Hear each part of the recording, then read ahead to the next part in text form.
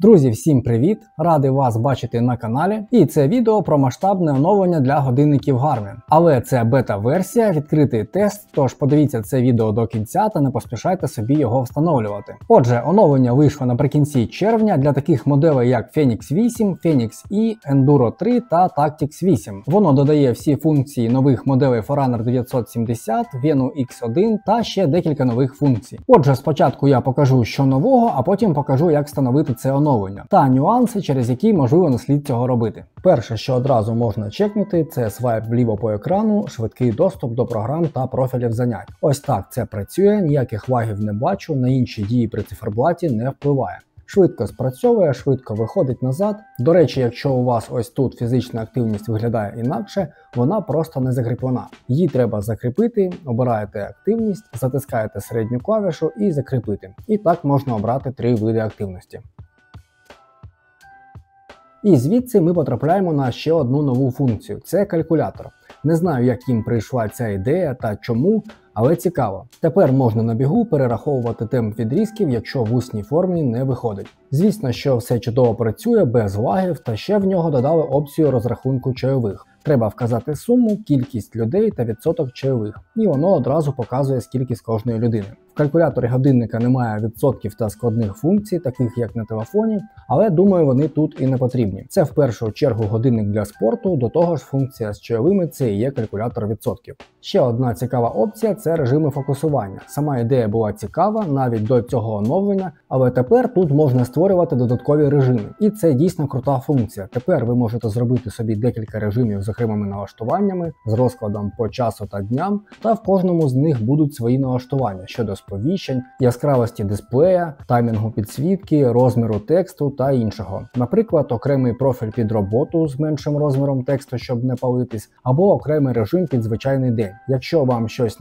набридне, можете просто вимкнути цей режим або змінити розклад чи ще щось. Далі в нас з'явилась можливість змінювати в силових тренуваннях повторення та вагу під час відпочинку, а не тільки протягом 3 секунд після підходу, як це було раніше. Для власників Android в клавіатурі з'явилась нова розкладка з Emoji. Тепер при наборі тексту ви можете обирати смайлики, коли відповідаєте на повідомлення. Показати я вам це не можу, бо на айфоні це зробити не можна. Компанія Apple не хоче, щоб функція відповісти на повідомлення була доступна в коннекті між айфоном та годинником Garmin. Вони хочуть, щоб ви користувалися цим тільки на годинниках Apple Watch. І схоже, що вони загнули великий чек за цю функцію, та Garmin не може або не хоче вирішувати це питання. Подивіться, що в нас далі. Підвезли вечірній звіт. Не знаю чому. Обожнюю ці звіти. У вечірньому звіті трохи інші дані. Як це виглядає, ви зараз бачите. Його також можна редагувати, напихати сюди по максимуму, або взагалі вимкнути його. І треба обрати час, в який він буде прилітати, тобто час до сну. І це не все.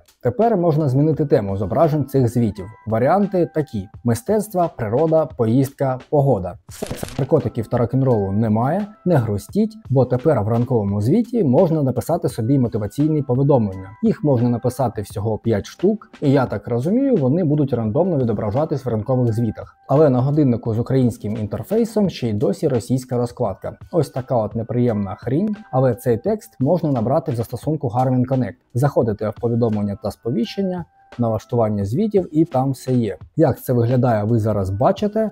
Найкумедніше буде попросити вашу дружину або дівчину написати вам цих 5 ранкових повідомлень. Також додана можливість відкрити свайпом вниз центр сповіщень. Все швидко працює, але якщо ви вимкнете центр сповіщень в налаштуваннях, це працювати не буде. Замість цього буде гортання віджитів зі зворотньої сторони. Ще мені дуже сподобалось в керуванні живленням опція створити свій режим зі своїми налаштуваннями. Я такого не очікував, це значно крутіше калькулятора. Тепер можна умовно створювати свою автономність, керуючи тими параметрами, які ви зараз бачите. І круто, що воно теж одразу показує, наскільки вистачить батареї в цьому режимі. Підтримка мультиспортивних тренувань. В додатку Garmin Connect або веб-версії можна створити своє тренування з дуатлону або триатлону. Можна самостійно обрати профілі занять, з яких воно буде складатись, ввести відстань, цільовий час, темп або пульс, зберегти все це і закинути на годинник. Після синхронізації ваші страждання чекатимуть на вас ось тут в тренуваннях. Тут також можна щось підкоригувати і потім це тренування можна повторювати з кращим часом або з кимось поділитись. Та коротше, тут теж є якісь налаштування. У віджеті з музикою додані нові опції. Можливо, я помиляюсь, але ось тут, наче не було ніяких підкастів, аудіокнижок та іншого. В мене тут нічого немає, окрім тестової мелодії. Це все завантажується в окремі папки, коли ви приєднуєте годинник до комп'ютера.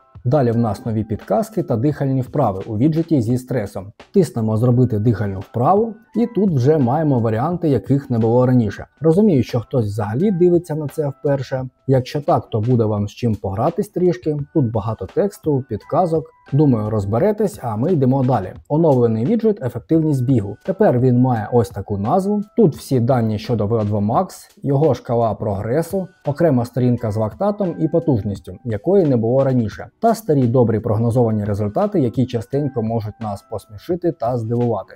А також новий віджит економічності бігу. Але для того, щоб побачити тут якісь дані, треба користуватись нагрудним датчиком, таким як от Garmin HRM 600. Пряма цитата. Така от невеличка рекламка та замовить від Garmin купити ось цей датчик. І ще один новий віджит це толерантність до бігу. Наскільки я зрозумів, на основі ваших тренувань годинник визначає, скільки вам кілометрів треба бігати за тиждень, та оцінює наскільки ви до цього толерантні.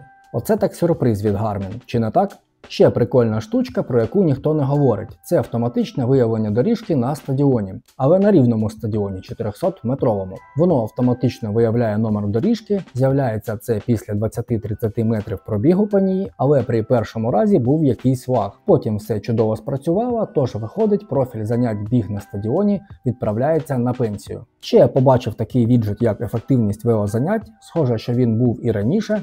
Тут можна визначити ваш VO2 Max за допомогою 20-хвилинного тренування з нагрудником.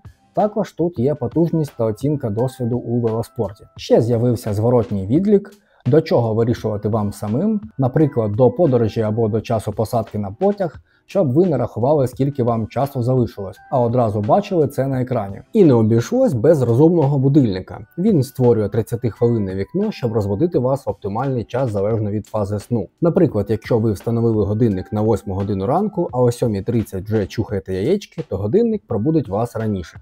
Ось така обнова, друзі. І це не все. Ось повний список. Можете ознайомитись. Там ще багато усілякої всячини, яка нам з вами навряд чи знадобиться. Окрім точки фінішу, якщо заздалегідь завантажити маршрут, пробігти його або проїхати і поїхати далі. Годинник нагадає вам та запропонує зупинити заняття або обрізати зайву відстань. Щось, наче таке. Але це не головне. Головне, що вам потрібно знати, якщо ви погоджуєтесь користуватись бета-версією, то назад відкатитись ви не зможете. А в бета-версії не працює ЕКГ, та в моделях Tactics не можна запускати польоти та користуватись функціями авіації. І можливо щось іще. Тож зараз я покажу, як встановити це оновлення, а ви перед тим, якщо що, почитайте та подумайте, чи слід це робити. Отже, для встановлення вам потрібно зайти на веб-версію Garmin Connect, обрати свій пристрій та натиснути Приєднатися до програми тестування бета-версії. Потім почитати, погодитись, якщо згодні, та після синхронізації годинника зайти в налаштування та надіслати запит на пошук оновлень.